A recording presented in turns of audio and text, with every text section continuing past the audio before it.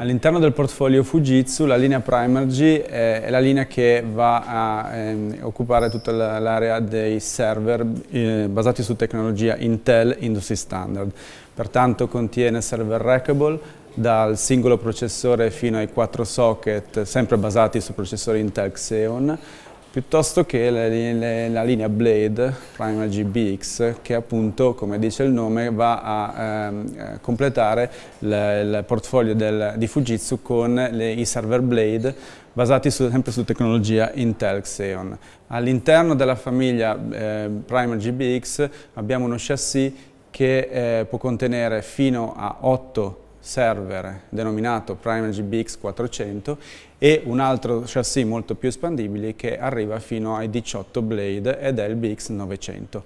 Eh, queste soluzioni sono, eh, come dicevamo, basate tutte su processori Intel Xeon e possono essere utilizzate per tutti gli ambienti che eh, devono utilizzare sistemi operativi eh, Windows, VMware, eh, Linux, eh, tutto ciò che appunto è certificato per la famiglia Xeon di Intel. Eh, il portfolio di Fujitsu si completa con un, eh, una famiglia di eh, soluzioni storage denominate Eternus eh, che hanno una storia di lunga data in quanto la famiglia Eternus è stata creata circa 30 anni fa in Giappone per rispondere a esigenze che erano legate all'ambito mainframe prodotto appunto da, da Fujitsu. Successivamente sono state estese a, per andare a coprire anche quelle che sono le esigenze delle infrastrutture del mondo open. Da circa tre anni sono commercializzate anche in, eh, in ambito europeo e contengono una famiglia di storage